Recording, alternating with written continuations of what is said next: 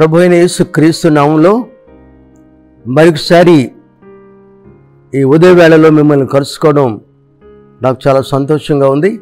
అపోస్తుల కార్యంలో ఉంచి రెండవ అధ్యాయంలో ఒక గొప్ప వాగ్దానం దేవుడు మనకు అనుగ్రహించాడు. ఆ వాగ్దానాన్ని నేను మీకు జ్ఞాపకం చేయాలని కోరుతున్నాను. మరొకసారి యేసుక్రీస్తు యొక్క కృప మీ అందరికీ తోడై ఉండాలని నేను కోరుతున్నాను నేను. అపోస్తుల కార్యం రెండవ అధ్యాయము ఇరవై ఐదు నుంచి. నేను ఎల్లప్పుడూ నా ఎదుట ప్రభువును చూచుంటిని. ఆయన నా కుడిపార్శ్వన ఉన్నాడు కనుక నేను కదల్చబడను.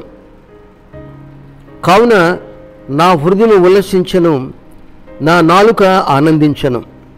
మరియు నా శరీరము కూడా నిరీక్షణ కలిగి నిలకడగా ఉండును. నీవు నా ఆత్మను పాతాళములో విడిచిపెట్టవు.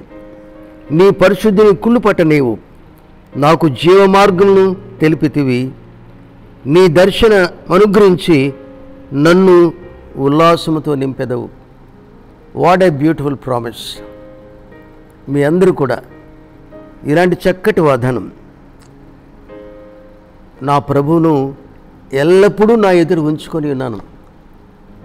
I focus my eyes upon Jesus నీ కనుల దృష్టి ఎప్పుడు కూడా ఆయన మీద ఉంటే ఎంత బాగుంటుందో. ఆయన నా కుటుంబాసు ఉన్నాడు కనుక నేను కదల్చబడను. నా జీవితంలో ఎలాంటి పరిస్థితులు ఆసన్నమైన? పరిస్థితులు నన్ను ఎలాంటి భయాన్ని కలుగు చేయలేవు. నాలో ఎలాంటి కలవరమును కలుగు చేయలేవు. ఎందుకంటే ఆయన నా కుడి పార్శ్వన ఆయన ఉన్నాడు.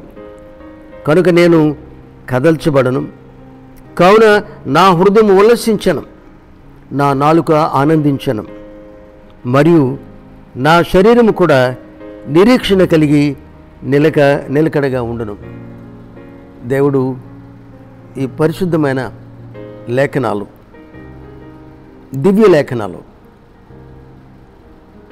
మన హృదయానికి గొప్ప నిరీక్షణను కలుగు చేసే ఈ వాగ్దానాలు మీ పట్ల మీ కుటుంబం పట్ల మీ బిడ్డల జీవితంలో కూడా దేవుడు అది నెరవేర్చాలని నేను కోరుతున్నాను.